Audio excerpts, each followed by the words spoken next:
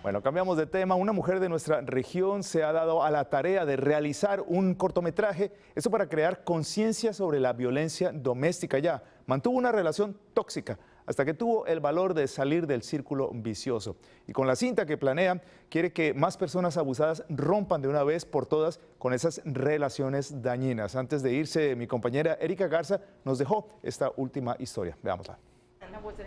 Por más de 10 años, Melinda fue víctima de violencia doméstica, una experiencia que la ha marcado para siempre y que ahora la ha inspirado a escribir una película sobre este doloroso tabú en nuestra comunidad. Esta película es sobre, sobre ella, lo que le pasó en, en el momento de que ella fue en la violencia doméstica.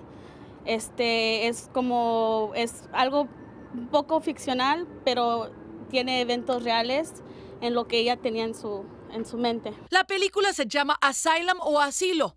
Y aunque aún esté en las primeras fases, Melinda y sus socios esperan que el mensaje de sanación y superación llegue a los corazones de las víctimas. Que la gente se identifique con ella, con lo que ella pasó en el proceso de, de curarse el alma, el mental, físico, pasó por muchas cosas, entonces ella lo que quiere que vea que eso la gente se identifique en ella. En cuestión personal, Melinda dice que aún no supera al 100% el abuso emocional que vivió casi una década.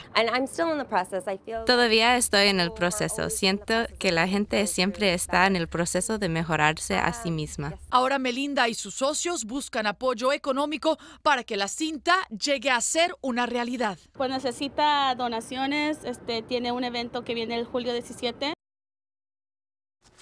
Bueno, pues este, un interesante proyecto y nosotros le vamos a mantener informados sobre esta cinta que ya está creando una gran expectativa. Vamos a una breve pausa, regresamos con una interesante entrevista, una gran fiesta.